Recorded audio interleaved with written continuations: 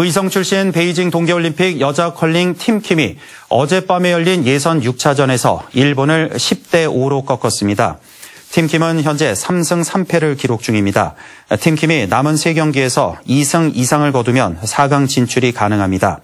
팀킴은 내일 오전 10시에 스위스, 밤 9시엔 덴마크와 예선 7, 8차전 경기를 치릅니다.